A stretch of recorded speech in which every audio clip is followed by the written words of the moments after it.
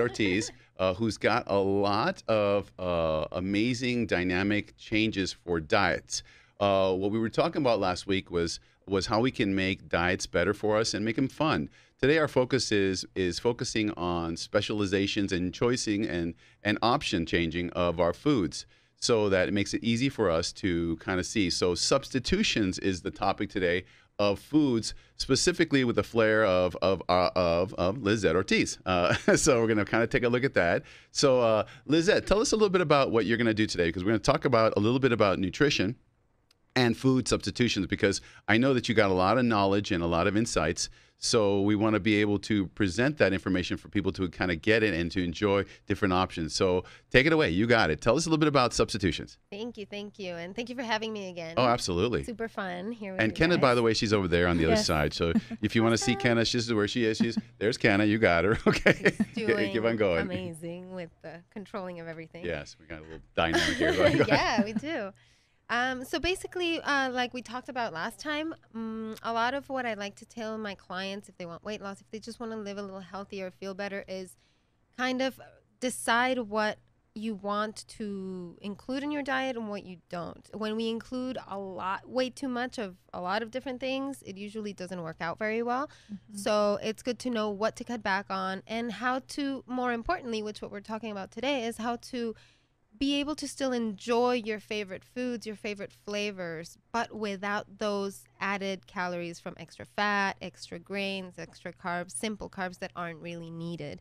And mm-hmm. especially, I believe that locally here in El Paso, the Mexican diet is very, very obviously popular, and and we're just a lot of us are raised on that, you know. So to suddenly one day be like, well, no more tortillas for you, no more chilaquiles, no more tacos. It's like, well, that's my identity. Like, Yeah, what it's am I just not going to realistic. do? Yeah, No, no it's way. not Mm-mm. realistic, Yeah. and it's not um, it's not easy to keep that lifestyle. It's not sustainable when your culture is part of it. It's like when I was living in Japan, for example.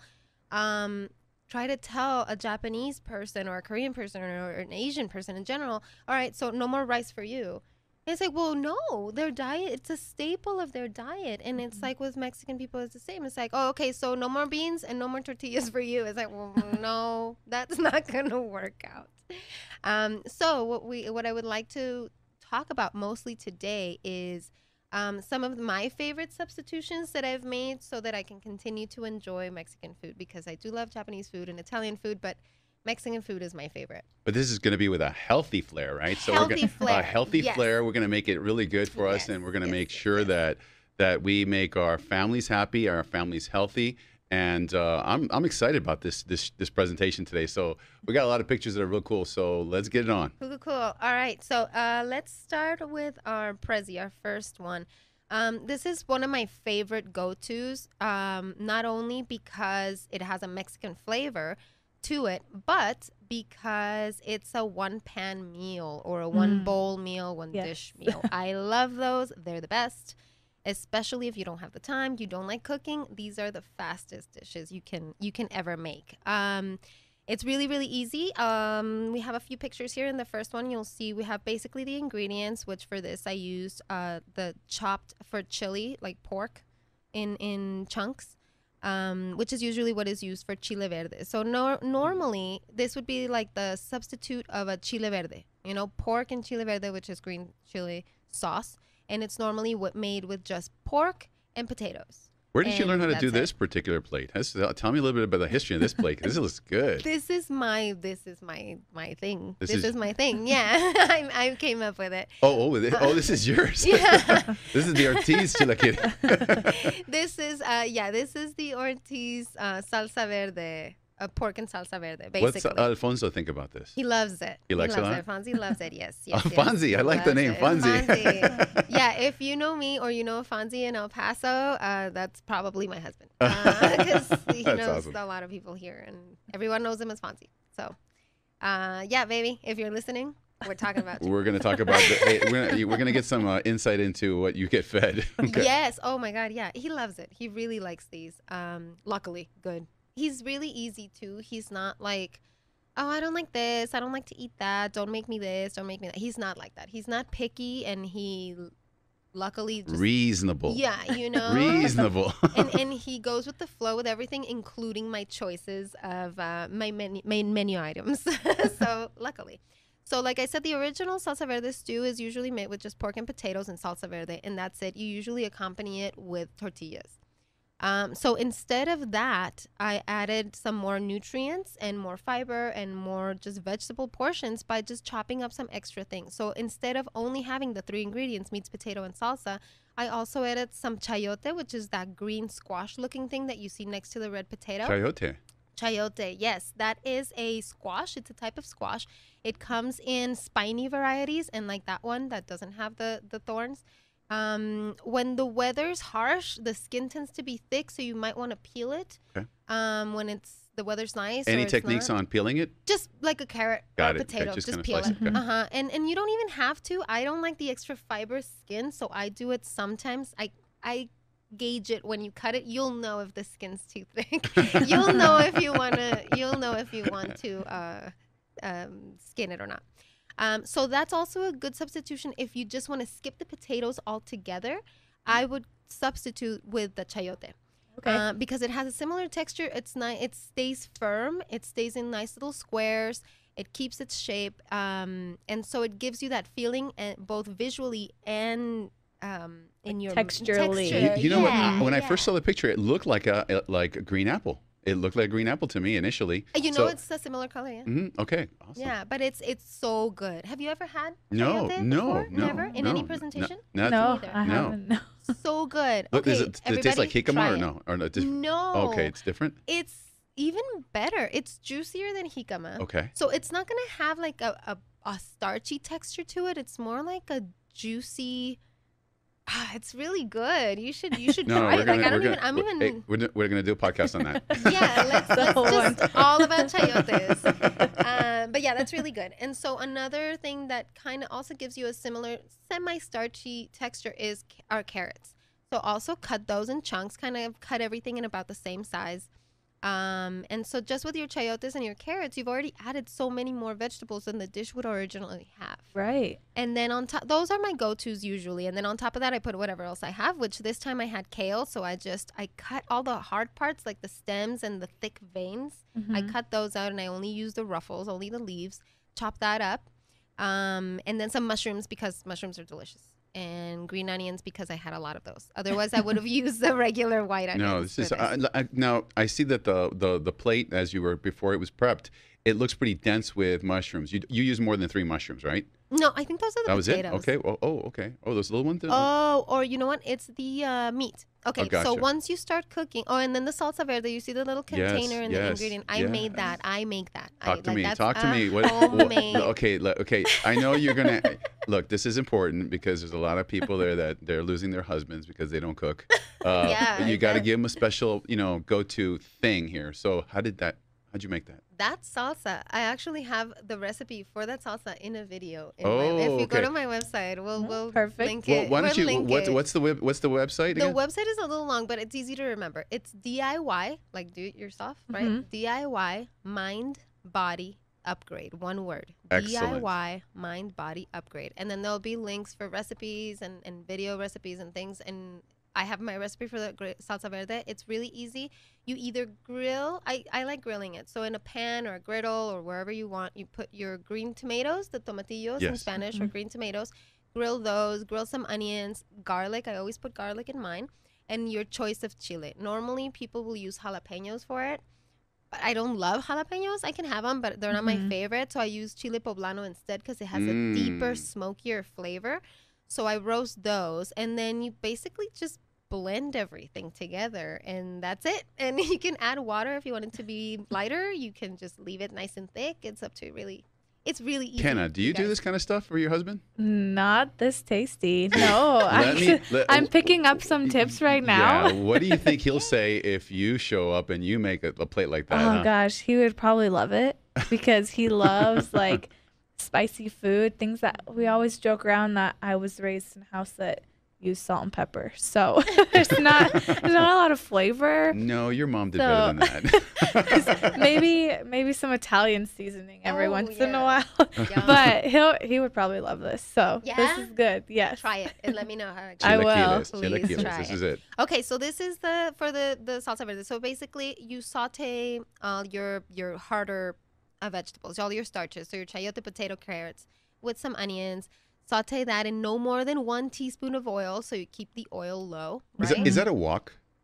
it's not. It's just a big pan. Okay, got it. Got it, got it, it's a got it. big. But if you had a wok, that would be really cool too. Got it. Yeah, or just a big, just a big pan that you can just saute it in. Mhm. Um, that'll work. And then once your your p- um meat, oh lies. Okay, no, you put the onion and the meats first. Let the meat cook a little bit, and then add your thick starches, which is the second picture you'll see there, where it has potatoes and carrots and the chayotes all together. Okay, so you want to brown. Yeah, you want to brown, brown your first, meat. brown your meat a Okay. little bit, Mhm. and then toss um all the starches and the, the bigger And does that just help them not get as soggy? Like keep up with the potato texture almost? Or Yeah, not putting them in all, together. It just doesn't cook 'em cook them as long. okay. Because it's also, at least for this dish, it's pork, so you do want it to cook thoroughly. You Mhm. know, it's very important that it cooks thoroughly.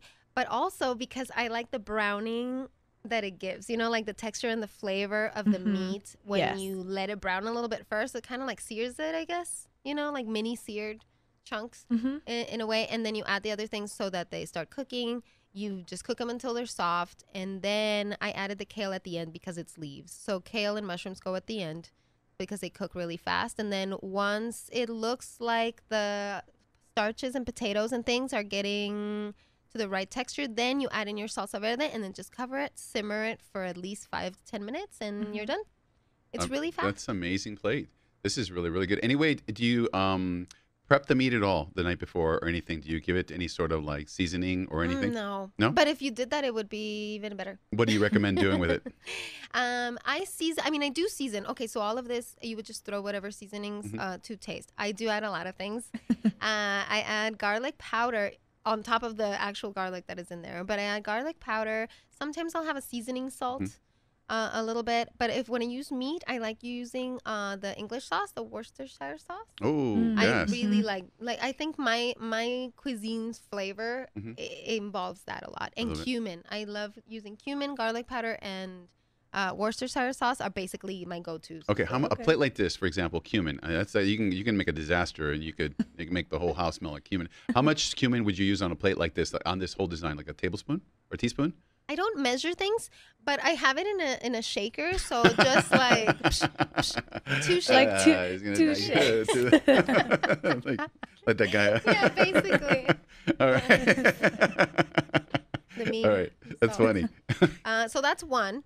Please go ahead and try it. You can use any vegetables. Again, it doesn't have to be these vegetables. You could use Mhm. broccoli. I've used broccoli before because that's what I had. I always have carrots, so there's always carrots in it. Um, and you can use any other vegetables. You you could have used spinach instead of the uh, kale. You can use cauliflower. You can That would use any like any vegetable. Very lean, want. very lean. So the the Ortiz Exactly. chilaquiles. Yeah. I like and that. is Salsa verdes too. Yeah. how many portions do you usually get out of this? Like, could it feed a family of four? Do you have leftovers, or well, maybe not so good, but um this is supposed to be for two people i Two know it people? looks Okay. like a lot but we only eat like one meal and Mm-hmm. then one smaller snack meal so we need to get most of our proteins and vegetables in one in one Yes. big meal so that's Got why it. this is pretty big if you're accompanying this with like a soup or a salad or something like that this could be for maybe three or four people but if this is your only meal because there's enough if you see how many vegetables it's like a carrot per Mhm. person half a uh, potato per person half a chayote per person that's already several cups of vegetables per person Yes. and so that's just one meal um, so this would be for two people if that's your only thing but you can also accompany it with other things so you Okay, could get yeah. and that's about a pound of meat we usually eat uh, half a pound of protein each Okay. in our meal and that gives Let us me ask you, uh, particularly in terms of choosing how much to eat and, and everything. Eh, let's say you do a leg day or versus a, just an aerobic day. Oh, do you ch- yeah. do you change it up in terms of you know, hey Alfonso, you did legs today, so you get a little extra piece of meat or something, or or or you did aerobics and you get no meat or something. How how does that work? That is so funny that you say that because yes, that is exact. like I don't think he he doesn't know that, but yeah, that, like, he does now if he's listening. He knows now. That's Uh, funny. but yeah, I do actually take that into account. How much I exercised, how much he exercised, what we did, if we remember to take our protein after our Mhm, mhm. workout. Um, what are we gonna eat later? what snacks we have for later if it's something that's high in protein or not you know like i'll take a lot of those things into account so yeah sometimes it's like if i if i worked out but he slacked it then it's like mm, Mm. we're gonna get like the same or i'm gonna get a little more but no he's a guy he's bigger so he needs more so it'll probably be more even if we both worked out then he usually gets a little more protein Yes. or more whatever carb like potato in this case or something because his body just functions better with carbs mine functions better with fats so Okay. i Okay, let yeah. him have more You know that's so Right. cool because I think that you know the family knows their their spouse and it knows what does you know what is good and in this situation it's so important to be able to pick out the the amplitude of the proteins and the amplitude of the carbohydrates versus the fibers so this is very good important I mean and and, and a very I think it's one of those basic questions that as you get advanced into nutrition you really know how to gauge Mhm. and and I think the world is now saying you know what we don't have to eat meat every day or high proteins specifically on the days that we work out hard but then not on the days we don't so it's kind of cool so we got another we got another plates coming up what other plates we got yes okay so now it's chilaquiles I'm gonna ask you one question yes first. ma'am. Um, everyone thinks that eating healthy is really hard and it's really expensive.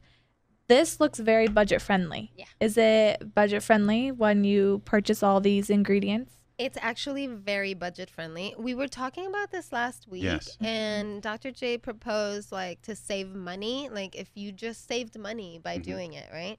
Uh, just like I can't spend any more money on this, so no snacks. There's no money for snacks, and truly, I spend so much less money when I eat clean than when I Mhm. eat other crap. You know, mhm. like Right. when I fill up, like rice is cheaper, but where's my nutrition? You know, Right. Yeah. and and that's bland. You're still gonna want something else, so you're gonna end up eating junk anyway. And junk is actually pretty expensive. Yeah. This is really cheap. Like my husband and I, it's just the two of us, but we eat like this. Or you'll see other pictures. We do eat healthy snacks. We buy and, and we spend maybe $150 every two weeks, but it's all just healthy stuff. Healthy. and, Did you like, hear healthy that, snacks. Trudy? Did you hear that, Trudy? 150 What? bucks. Did you hear that? 150 bucks every two weeks. Now we can do that. Now there's another thing I noticed about this is that you cut these these vegetables up, and there was a lot of fiber, obviously, in this Yeah. thing.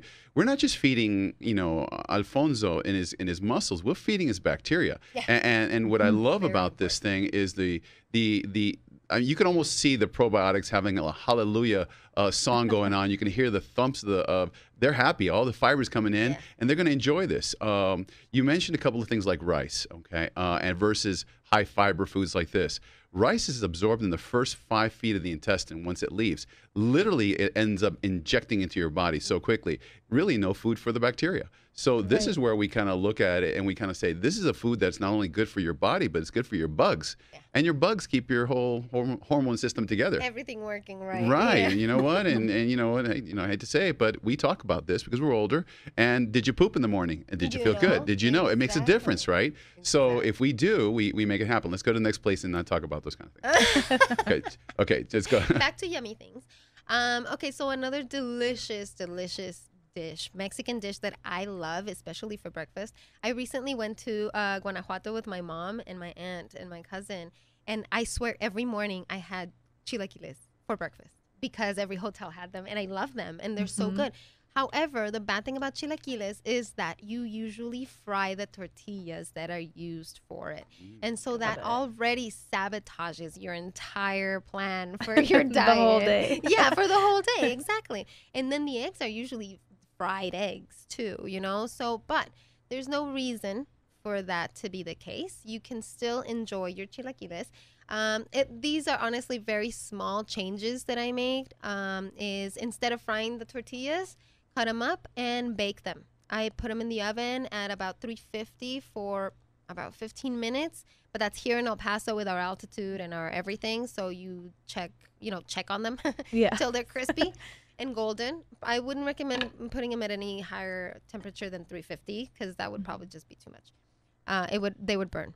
And then the salsa is again my salsa that I make. That's the same salsa. That's the same salsa. Cool. Yeah, gonna- yeah. So I Make ma- sure we put a go-to. link Yeah. to the salsa to the I bottom. will. I will. Yeah, I'll, I'll, I'll, I'll add a link in there. Um, but yeah, that's my salsa that I make. I make it all the time. I buy the green tomatoes every time I go to the grocery store. I buy my green tomatoes, and there's always like a batch of salsa at home. And then, so what I did for this is I sauteed some onions, and then no lice. I just baked the chips, and then I threw them in the pan. and then the salsa, like I mentioned, already has garlic, and it has onion, and it has uh, the the chili in it. So that's already a lot of flavor. So you don't need to add oil. You don't need to add any garlic, any onions, anything. That's it.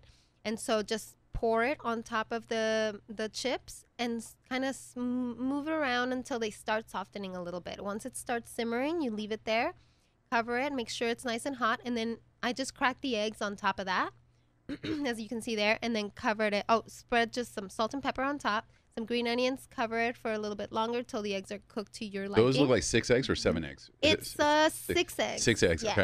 Okay. Yes, they're a little uneven. I know there should be a seventh one in the middle, right? No, no, it's Which good. probably, but I guess Fonzie didn't work out that day, so he didn't deserve the fourth egg. That's probably what he gets happened. half a huevo. That's funny. He only got three that day. Actually, yeah, he prefers four eggs. He does prefer four eggs, That's so funny. but he must have slacked it this day because I obviously only gave us three each. Uh, so we both slacked it, I guess. Uh, and so that's it. And you just cover it once the eggs are nice and cooked how you want them. Uh, I took with a scoop. I scoop it out with a either a spoon or a spatula or however you want. Normally the salsa's nice and thick. If it's too soupy, then use a spoon. But I like it either way, and just serve it. And then you see in the final picture, uh, of course, a side of salad, right? And it's kind of like a chilaquiles are a type of thing that you can have for breakfast, or you can have as a breakfast for lunch, breakfast for dinner type meal.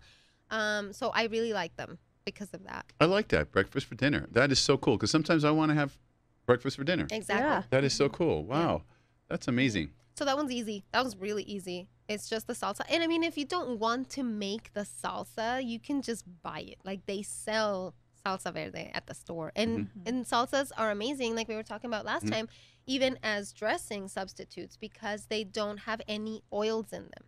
Salsas are made by roasting or boiling or steaming some sort of Mhm. vegetable and blending them together. Say that So- again. They're made by how?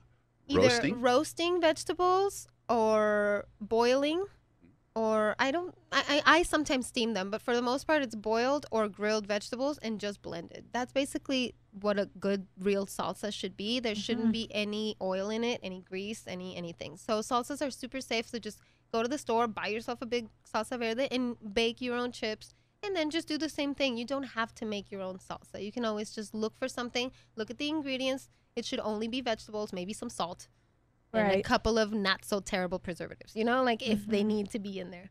Uh, but other than that it's it's a really simple meal that um, the other thing that you will notice and i'm sure some people are like hey where's the donde está el queso? Where's the cheese? Right? It's like yeah well that's that's another thing we're modifying here is we're not putting cheese so we're cutting back on that fat if you want the cheese because it's part of it and you must must have it there's nothing wrong with grating you know a little bit an ounce of cheese and spreading it all over. An ounce of cheese divided by two people that'd be nothing. Nothing. even one ounce per person is like maybe a hundred and something calories. It's good fats you know but it's it's a little. You're not gonna dump half a pound of mozzarella on top of these eggs. There's no reason for it. So that's that's my second go-to favorite um, item that i like to make What's the next one here? Okay, so after this, I wanted to mention some other dishes that I've enjoyed making that might be enjoyable for some of our listeners.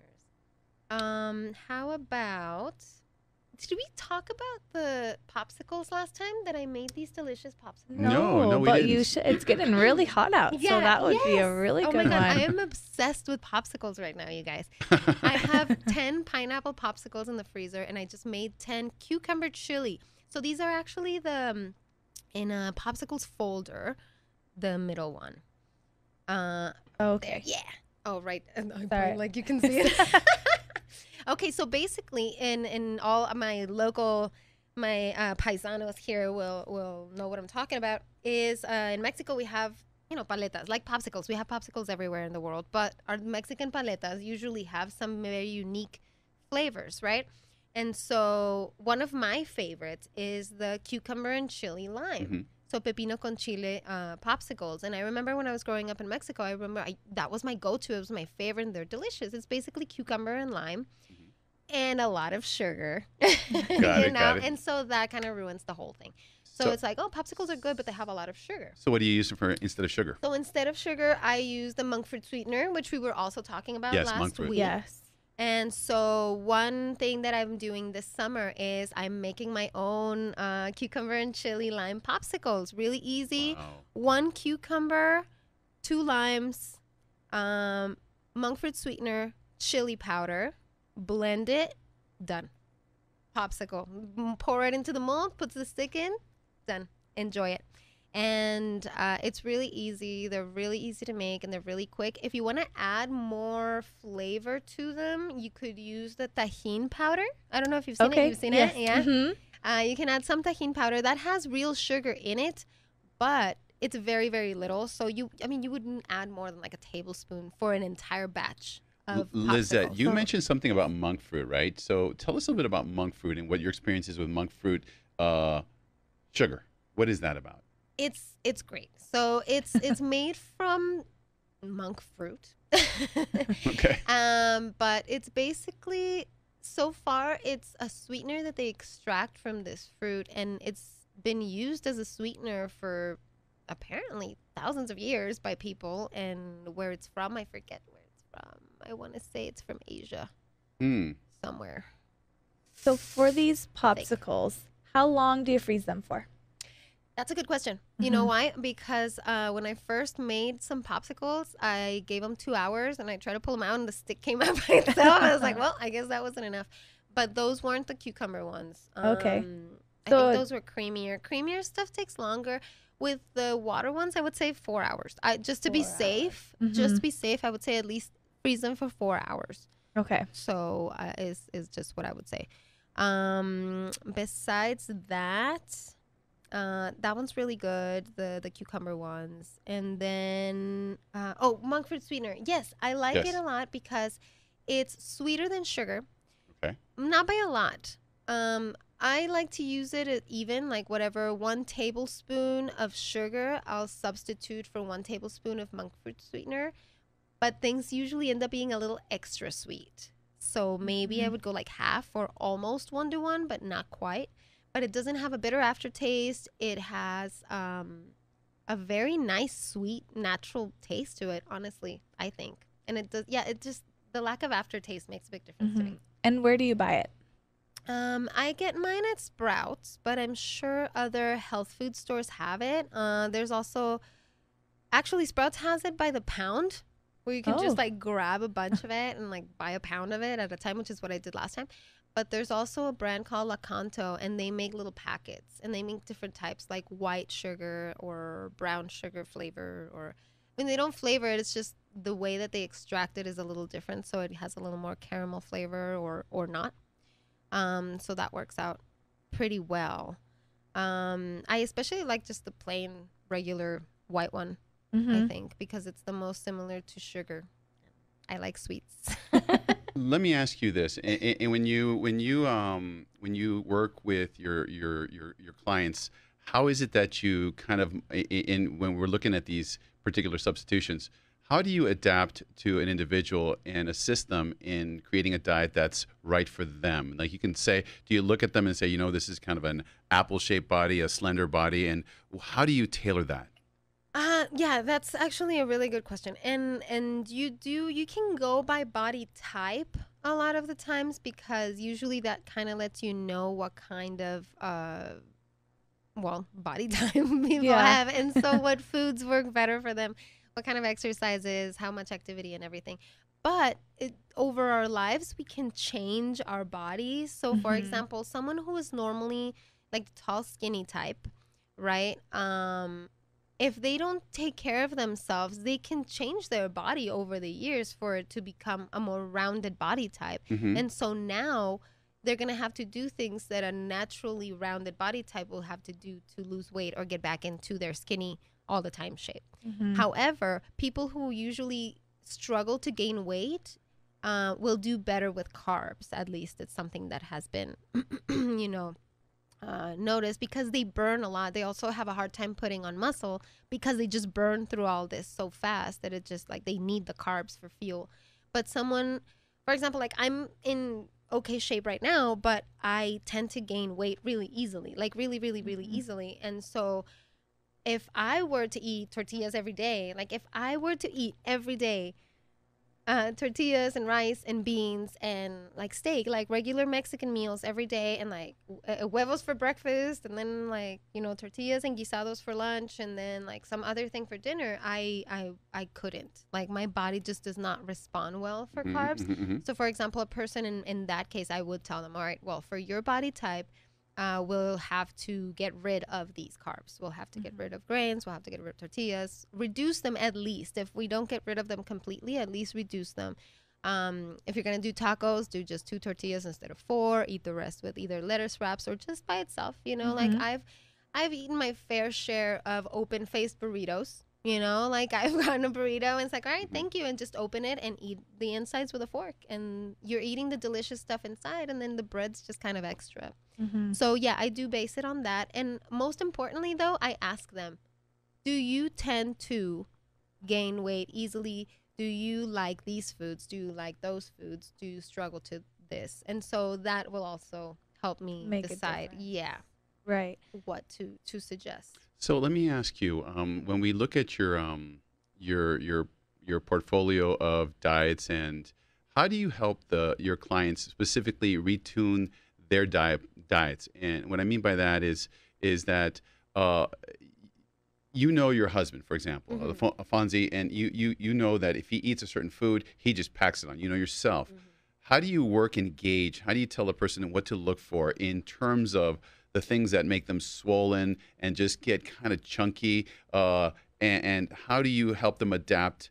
Uh, you mentioned something about the use of a diary, and you Mhm. mentioned something like that. Tell me, how do you do that? Um, the first thing I like to do is start with a semi elimination diet. Okay. You know, where it's like, all right, we're starting, jumpstart, you're going to get rid of all of these foods. And we really go really, really, really Mhm. strict. And it's like, none of these, not even any potatoes, not even anything that could irritate you, like any nightshade family foods like uh, tomatoes, eggplants, potatoes, all those things. Uh, no grains. We ha- I have them like that for like at least a week, and then slowly add one food at a time Okay. and see how they feel. And then we can really gauge what is really causing inflammation, what's causing bloating, what's causing headaches, even sometimes. What do they report to you in terms of inflammation that things aren't sitting right? Let's say they eat a, a certain food and and and it just keeps on, whether it's milk or or certain byproducts, dairy byproducts. What is it that we can help them to to zone in on if it works or not in terms of elimination diet? Um, it really it, it depends. Like it really depends on what they feel, I guess. Mhm. You know, uh, but what I mostly hear is people are used to inflammation. Lizette, Yeah. tell me about that. What do you mean by inflammation? You know? A- And and and and Kenna, tell me what it is that the patients tell us when when when we, when they say I from bloated to I just feel puffy Yeah. to I just feel you know inflammation. What is it that they should look for that tips them off that inflammation is or they ate the wrong thing? And that's that's the thing is like so many people are used to inflammation. And I'm sure you understand what I'm saying because a lot of people don't even realize that they're bloated until they're at the end of this first week and they're like, "My stomach feels so much smaller. My this feels so much better. I didn't realize, but I don't feel this discomfort that they didn't people don't even realize that they have Mhm. a discomfort until it goes away." Right. And so something that I would say pay attention to, I would just do it once a once a once a year at least, every 6 months. I like to do a detox. So like take at least 3 4 days at least of super clean eating, no grains, no anything that'll irritate you and then slowly add foods. Okay. And see how you feel. Just listening to your body is so important. Like you really need to, like you said, like I know my body, I Mhm. know my husband's body, and it's just I can't know every client's body, but I mean there are patterns that you Mhm, can mhm. notice, but in yourself, just kind of know what feels right, what feels wrong. If you feel like when you stopped eating something, your stomach's smaller, you don't feel uh, nauseous or bloated or pain or discomfort, then now you know, you know what, you probably shouldn't be eating that food. hmm hmm Yeah. I've said before, a lot of people associate inflammation with like just joint pain or an, a physical thing they can see. They don't think about their intestines and how they're eating and what it contributes to their headaches or like you said, your nausea or your bloating. You don't realize that um, even like using the restroom could be so Mhm. easy and simple because the foods that you're eating are really causing inflammation in there and just wreaking havoc on all all the insides because we can't see it. Exactly. So definitely detoxing is great to do like you said once every 6 months just to give your body that clean reset so you know and also you can the food sensitivities you have can also change. So doing it every 6 months or a year it will really help you just get better in tune with your body, which is a great thing. You should re- you should really know your body. It'll help you so much and it'll help you with the foods that you can have and even with the substitutions. It's Yeah. just a great thing to do. Do you have clients who say like no, I'm not going to detox or they don't understand the purpose of it or how do you get around things with your clients that maybe might be a little tricky? Or have you had not had to come in contact with that? No, I haven't so far. Not necessarily because most of my clients that I've had, at least maybe I've just gotten lucky. uh, they're very like they're ready. Let's do Yeah. it. Whatever it is, let's do it. In fact, most people are surprised at. You know what? Now that you mention it, I'm thinking about it. Most people don't eat enough. Like Mm. especially with women, Mhm. um, Yes. We tend to think, oh, well, the less I eat, the more I'm going to lose weight, right? And it's like, well, no, because now you're starving yourself. so now you're storing everything. And so, no, when I actually tell people, it's like, you're not eating enough. You need to add this many more vegetables, this many meats. It's like, what? No, like, how am I going to eat all this food? I bet that I'm like, could be hard fine." hard for them too. Like almost a, Yeah. a mental thing. They they just like, automatically "No, think if I eat more I'll gain weight, but it's not. My mom, she, sorry mom, she was We one of those people. I know. in. Oh my God. um, she thought you know eating less means less calories, so it's Uh-huh. better for you. And she, she was just eating saltine crackers with butter on them. They're And so freaking I- good. they are really good. Until my uncle came over and was like, "Oh, you're just eating crackers?" And my mom said, "Oh, I'm trying to lose weight and eat less." And he was like, Oh, "You're my- just eating flour. Oh Like, my God. You're You know what? literally filling Uh, your uh, body." The gluten people are just exploding right there. So Yeah. yeah, when we look at uh, at, at this area here, here, we were talking about. You had mentioned a little earlier about having popsicles, right? Yes. Yes. And Paletas. what we're looking at the popsicles right Oh, now, yeah. we can actually see it on one of the monitors there. Uh, is that's Alfonso? That's Fonzie. Alf- yeah. Fonzie's let, let- he's enjoying that. That what type of popsicle is it? How did you make those? So that's the cucumber. That, Oh, those are okay. the cucumber Okay. chili popsicles that I made. Um, so you can see that there are like chunks of cucumber. So when I blend, I didn't actually use a blender. I used a food processor instead, so Okay. I could just like press it a couple of times, so that there are still chunks of cucumber. Because the great thing about the Mexican popsicles, the traditional way they make them, is they're usually chunks of fruit or Yes. whatever the Mhm. popsicle is. So I love that. and so I made sure to keep some chunks of uh, cucumber in there. And Can you go through it and teach us how to? How did you make this? I mean, tell us how, what Yeah, it is. what that actually- you- is okay. There's another picture here. can I go to the next one? I next one. I think I'm going to go to the next one. I'm going to see how it happens there. And yeah. there, oh, okay. there you so go. those okay. are the ingredients. So you have one cucumber, two limes. I put like one tablespoon of Tajín, which is in the back. The container with the red lid is uh, just chili powder, just regular Okay. Mexican chili powder. And then that Lakanto monk fruit sweetener, golden, is the one that's supposed to be kind of like brown sugar. okay, so you Um, like the golden. I like better the regular one. one? I like Or- the regular okay. one, right? I just happened to have that. It was the end Oh, of the okay. bag. but um, yeah, so that's one variety that they have. But any any monk fruit sweetener will work for that. Um, just no sugar. And so if you can see there, like that whole cucumber alone has what 35 calories, maybe. Yeah. Yeah, maybe. Nothing. Maybe. Um, so if you put all of that and divided it between the 10 popsicles, that means each one of those delicious, decadently sweet, and amazing Now, that's what I'm talking about. That's what I'm talking about. That's How it. many calories? Like Nothing. Five? Nothing. Like nothing. I can eat all of these and still be fine. Yeah. Well, I don't know about the chili and the lime in my stomach. But, you know, I, don't, I don't know that that's a good idea to eat 10 all at once. We're, we're, we're about still. compromise here. Compromise. Okay, We're working our way towards. yeah, Uh, yeah, yeah. There you go.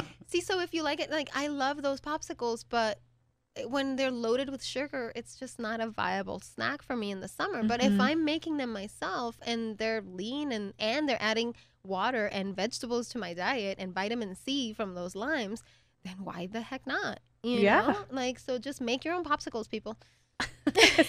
yeah. So tell us a little bit about what made you. Uh, what other types of, of popsicles do you ta- that you do do? Okay, so uh, I just made some. They're not super low sugar because I took the lazy route um, for several reasons that I'll explain. But I made some pineapple popsicles, and I made them with.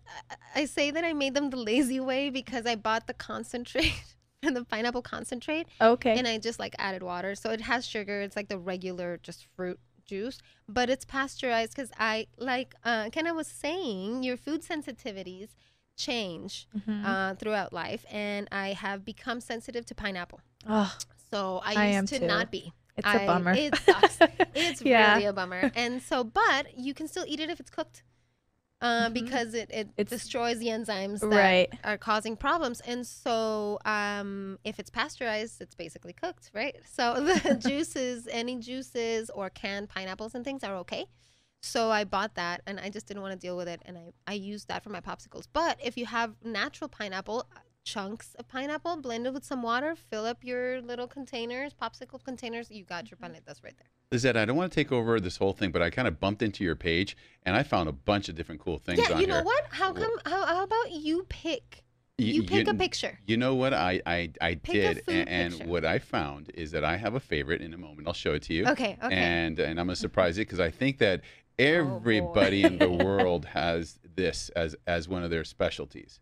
Like you know, uh, to me, there isn't a, a week that should not have a taco night, right? Taco night. Yeah, so yeah, take a look at that, and when you see that on on there, you can see uh, that looks really good. Tell me about, about this because that's got a lot of you know cruciferous vegetables on there, and tomato. Tell us.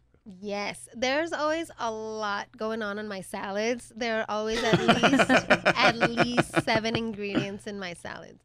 Um, okay, so this one has you know your basics uh, le- lettuce. I don't use iceberg because it just doesn't have a lot of nutritional value. So I Mhm. usually stick to something greener, either a green leaf or a red leaf, which is what's on there.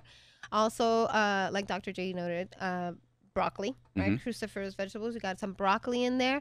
I cut it small. Someone once told me that it was hardcore to eat broccoli raw. So I guess, I guess, uh, if you don't like it raw, steam it before you throw it in there.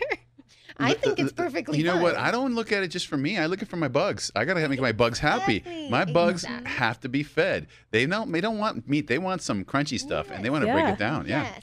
So there are mm, mushrooms, I think, in there. Yes, tomatoes. And then uh, basically the vegetables are vegetables, and I just toss them with a little bit of lime and salt, and that's it to give them flavor. Yum. And then the meat is just uh, lean. I think it was like 90, 90 10 or 95 10 lean beef. You can use 85 and then just drain the extra fat if you want.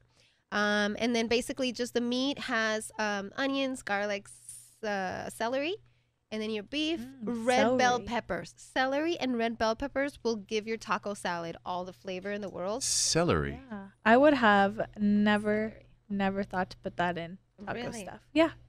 That's So good. good. Yeah. That's now I can is. see I- exactly. yeah, I've never thought of celery. I mean, in, in, a, in a taco. I mean that, but you know, celery makes a big difference. Exactly. And that's what gives foods flavor. This is why eating healthy doesn't have to be boring, you guys. Like, this is Mhm. super lean, it's super healthy, but it's very Yeah. flavorful because that meat has garlic, it has onion, it has celery, it has cilantro, it has cumin in it, salt and pepper. It has a bunch of things in it. Like, why would Mhm. you even need a dressing on that? Yeah. I if don't you already have that, you know? We look at this plate over here. What's this one about? This one, oh, that This. looks like Oriental. Is that Oriental? It's not. Oh, well, okay. is there is an Oriental dish in there. Oh, maybe. What is, what is this? might Tell me, tell me a little bit little about this plate because that looks good. It It might be a little bit. Oh no, I know what it is. Okay, uh, this is a vegan day. This is a vegan day meal. So, Okay. Um, so first, can you tell us um, more about your schedule with eating when you say Yes. vegan day? Vegan Just day. kind of explain that a little taco bit day, more. 'cause Yeah. And have to have taco taco day, right? Yeah, Yeah. So go ahead and explain that first. Substitutions. Yes. So, uh, variety is the spice of life, right? Right. As we all know. And so, um, good diet is a varied diet. Although you are going to notice a lot of ingredients repeat in my diet, but at the same time, I have a lot of different ingredients all the time.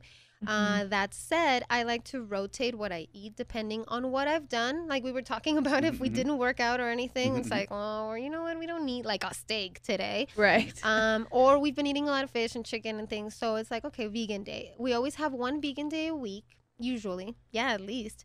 Uh, or at least a vegetarian day where we'll eat some, maybe some products, like maybe eggs, like Right, uh, okay. uh, ovo lacto vegetarian. Um, but usually we do meatless day at least once a week. Once or twice a week we go meatless completely just for Mhm. variety and to also for our, for our little bacteria, you know, like for our little microbes. They they Yeah. need the variety. They love they love the veggies. They love the fiber and stuff like that. Uh, so I do we do chicken, fish, pork, beef, uh, and vegan or vegetarian, and a variety. Just skip it every day. Um, when Yeah. when we look at this plate, we here's another substitution that you have here, um, and that's a real unique one. What's this one about? yeah, that looks so like a dessert. Yeah, this does looks look like a dessert and it tastes like a dessert, but is what I suggest to my clients who are used to eating, for example, oatmeal every morning. Okay. And when we're trying to get rid of those grains at least for the first portion of their of their program um, i lived on this every morning for years. I am not i, I get bored easily with food okay? And i am not one to eat the same thing every day but i can eat this every day and not get tired of it. It's basically greek yogurt with your choice of fruit really but strawberries are always good any sort of berries. And then uh, some crushed almonds and i put a little bit of honey just raw honey, mm, less than a tablespoon. Just I was Okay. flavoring the agave. I was kind of was like looking at it, I was like I was like this kind of needs a little agave on there. I do honey. I, I don't, Honey. I'm Honey's not good, that's good. huge on the agave. Oh, it's okay, it's believe good. it or not. Well, even just the crushed almonds is great because so many people go for the granola that you can just get, Yes. and it's full of sugar, and they don't realize that. So exactly. Just even by making your own granola or by just using, like you did, crushed Yeah. almonds, it's so much better for you, That's how I and started. it keeps you full. Exactly. That's how I Mhm. started because I used to do fruit and yogurt with granola until I Uh-huh. found that granola is not healthy, you guys. It's not healthy. Yeah. Stop Oh, eating it. wow, I did it's not- loaded with sugar and things. oh wow. Uh, oh, can we show the wings? oh yes. Hold on. Hold Ooh, on. ooh. Oh, wait, wait, no, wait. we can talk about that one yes. first. That, yeah, this yeah. one looks. You know what? That looks so different that I want to know what that's about. Yes. Okay. So this is basically Taco Taco Tuesday again. We, Taco do, Tuesday. we do do Taco Tuesday. Oh wow. Yeah. Okay. So uh, again, tacos usually a lot of times I'll fry the tortillas. Clearly, I don't. I warm them up on the fire. Uh, the inside is fish, so they're fish tacos. A lot of places, I don't know if it's just California or if they do it here. I've, I had never seen it until I went to California, but they fry, they bread and fry the fish before putting it in the tortilla for whatever reason. Mhm. Which don't do that, okay? Yeah. Don't don't do that. Um, but so what I do instead is I just again celery, onion, garlic Okay. in a pan with just a, a touch of oil if you need it. If you have a nonstick pan, you won't even need it, and then just throw the fish in there until it breaks up. It's nice and cooked. It has the flavor. You put your seasonings, and then that's it. You serve it with your four fire warmed up tortillas, not fried tortillas. There's hardly any oil in there. There's no fat in there. Uh, and then the cactus on the side, the side dish is Yes. uh, nopalitos or cactus side dish. This one is warm. So this one's also saute the onions and then your cactus until they get that, that pretty color, like a nice bright green. And then after that, you can add the cilantro and the tomatoes since they cook a little faster. And that's it. You just cook them until they're nice and bright and they have a good texture that you like, which could be anything. You could eat them raw if you wanted, or, you know, if you want them al dente or nice and soft, you can do that too. Um, so there you do have carbs, but it's only the four tortillas. If we talk about calories, it's only 200, but corn is a whole grain. So if this Mhm. is your meal for the day and there's no reason why this is not healthy for you. It's You know, um, as I was looking through your diets, um, I was I was trying to think. This is those plates that you've shared with us. They're very, very nice. Um, what do you do in like lifestyle? Like the, now you've prepared the food. Uh, what do you do in towards of presentation and, and how do you set it up for dinner so that you can relax and enjoy it? Because that's part of also Yes. the experience of eating. Because n- not only is eating, we're running, running, running, running, but what you do is you prepare a, a place to eat, obviously at the dining room. But how do you set up the the environment for that? Because we got some more plates here, but I want to also talk about like when you sit down because that looks like I would have eaten that plate way before it hit the table. Okay? It's just like I would have just done it. So how do you kind of control yourself to make sure that you have the experience? the experience. Um, well, the, the best recommendation for eating, like you're saying, is being mindful of what you're eating and like mm-hmm. sitting next to or in front of your your you know your family, your person, and talking and observing your food and chewing carefully. I'm gonna be completely hundred percent honest with you guys.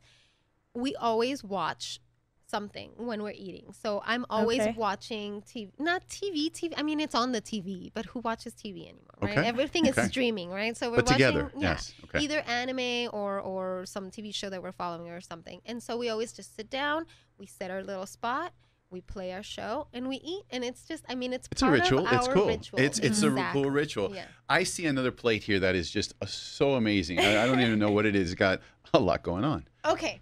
So this one was my response to a breakfast dish with no bread because when you think breakfast, you think eggs and toast and bacon, right? Eggs and bacon, there has to be toast. Eggs and bacon, there has to be uh, something else. So if you see here, there's eggs and well, there are eggs. There are eggs under the bacon, and then there's the bacon which was grilled or I mean cooked and then um, patted to take the excess oil off Mhm. chopped up, but that is served on top of sauteed vegetables. And the vegetables are a mix of, I think that one's just cabbage and squash, uh, the Mexican squash, and a little bit of celery. I always add that for flavor. Mhm. Um, and there are, I believe this one had a little bit of potatoes. Yeah, I see little bits of potato in there. You can always skip the potatoes. Again, if you're really limiting your starches, uh, or if you just don't do well with potatoes, you can uh, replace them with more veggies.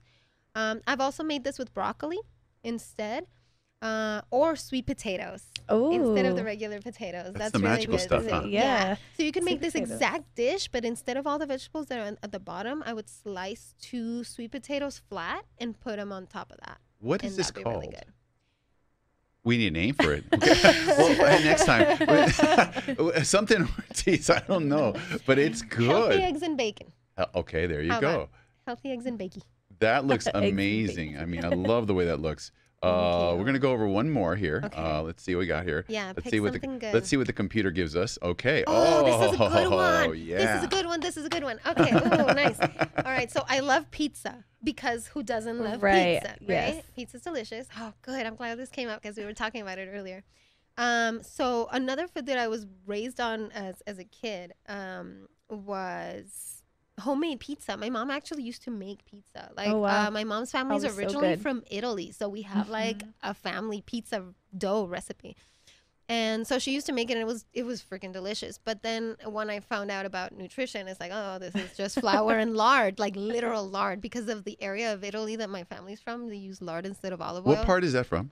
Is I, the south? Oh, It's you know the what? There's some Italian people being real upset right now. Sorry, we need, we need some city to. It's because and I only know that the rock, because the boot, the, boot. heel. Which part? It's between north and south. I worked at an Italian restaurant for a while in LA, and that's the only reason I know because talking to one of these uh, Italian ladies, uh, we were talking about our family's pizza recipes, Mm. and she's like, "Oh, your family uses lard. They must be from the south of Italy. No, the north of Italy, because the south uses olive oil and the north uses lard." I was like, "Oh, I didn't know that. So now I know." um, but anyway, so uh, I love pizza, but flour is terrible, especially the white flour that you use to make pizza, right?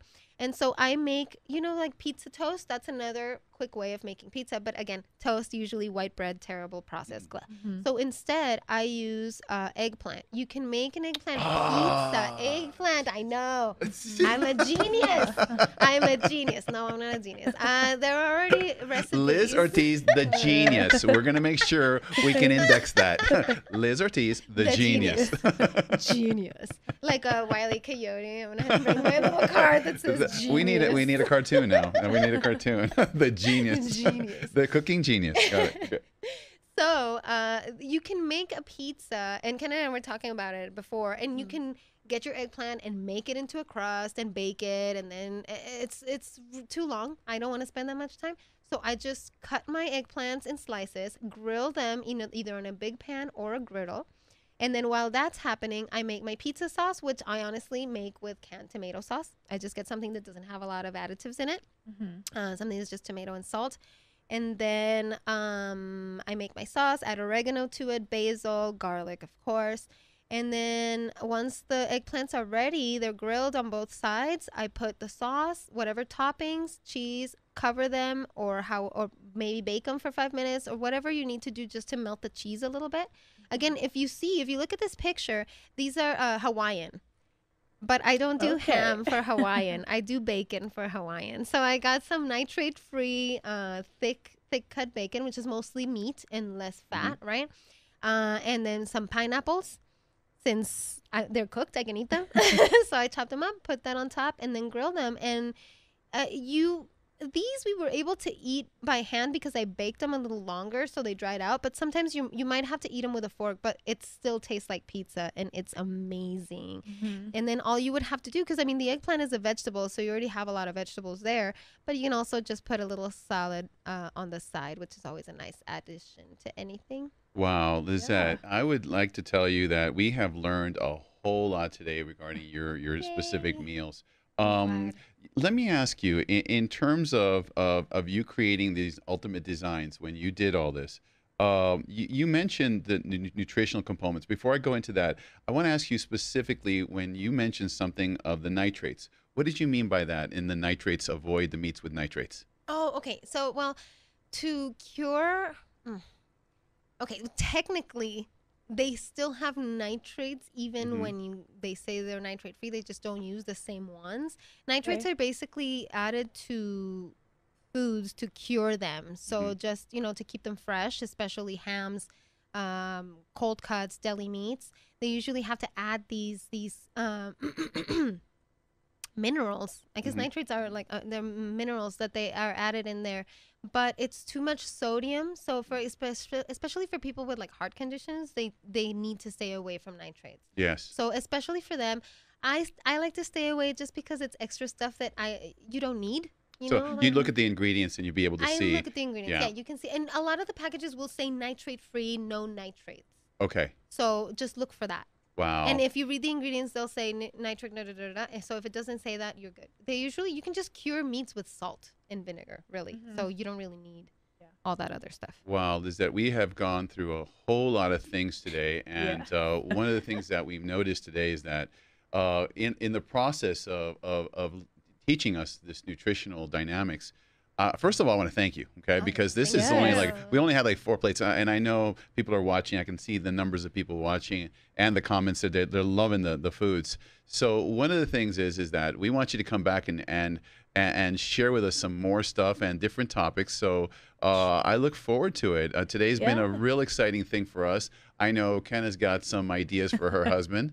Uh, They'll I- love them. Yeah, I got to tell you something on a side note. Um, you know, my mom, she's uh, she's an older Colombian lady, uh, and she'll look at square at at at at at, at, uh, at the young ladies of today and say, you know what, you want to keep our, your man happy. You better learn some skills. And you may be all educated, you're a lawyer, you know, career oriented, but you need to have some skills. And right, uh, because I got to tell you, um, the way to a lot of people's heart is their bellies, and if you take care of them and you make sure that they don't have atherosclerotic disease in the future, uh, the way you're you're tending to your family, the way that most moms and most families tend to their families are, are, are so it's critical to be able to assess and dynamically change. So our topic today was was substitutions. So we need to be able to adapt of and you've given us some amazing topics. So I, I don't know what we're going to call you, but we're going to call you the genie, the magician, the, the the kitchen magician for the the substitution magician Substitution guru. Yeah. substitution guru, go. right? Because I'll tell you what, one of the things is that as we look at this stuff, uh, we want to bring El Paso uh, the the knowledge that you have because they're going to love this stuff and they're going to be able Mm-hmm. to reach out for you. So once again, tell us the website to find it so we can find it. It's D. what is- yes, yes. Um, well, Yep. thank you. I hope I hope people get a lot of ideas from this. Like even if Definitely. even if you don't do exactly what I talked about, like if it gives you ideas for, oh, I'm gonna try this with this other thing, like please do. Um, you can find my website where you'll find recipes and pictures and everything for all these things. Uh, my tips, uh, DIY mindbodyupgrade.com, one word. Or you can follow me, uh, and this shows up at some point later in Yes. the video. Uh, Yes. Is at coach underscore Lizette uh, on Instagram, and I share a lot of my recipes and my workouts and tips on there. I too. saw your Instagram page. It's amazing. Yes. Thank you. Yes. Yeah. So follow, even if you follow there, there's a link to my website on the Instagram. So Oh, just follow at coach underscore uh, uh, underscore Lizette, and you can get a link to everything. Everything's linked there.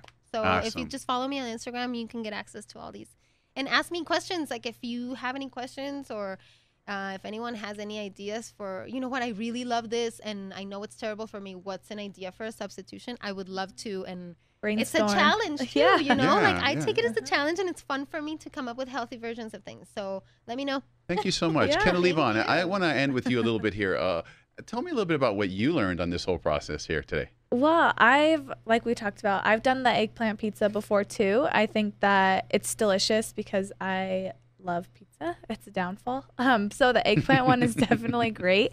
And my one year old also unfortunately loves pizza. So it's definitely good to have substitutions, especially as a mom, just ready in your back pocket and ones that don't take forever because the last thing I want is a very hungry toddler. Um, but the celery, I have not thought about putting celery in a lot of our dishes, and I love crunchy food. Yeah. Um, so that's definitely something I will be giving a try. Yeah. I- I'll tell Yes. you what, and what I loved about this particular setup was that you were very considerate in terms of uh, our bugs. Uh, I'm a big one Mhm. about the bugs. I gotta and the fiber and all the good, the probi and the pre and the postbiotics uh, to make our bodies healthy and to work like it should. Uh, I want to thank you again, guys, and uh, we look forward to the next. Uh, uh, rendition. Uh, we sometimes get a little kind of crazy clinical, but today we decided to bring it home because it is the answer from the kitchen to your genes. And and when you have the power of cooking food that affects your family's genetics uh, through epigenetics changes and the changes that we get into clinical in this process, uh, you really make a difference in your future generations. So Yeah. for for it's not so obvious, but for those that uh, know that we influence our future generations by what we eat. So, uh, goodwill and God bless. And uh, again, we're coming to you from the Push Fitness Center and uh, looking forward to the next connection. Bye, guys.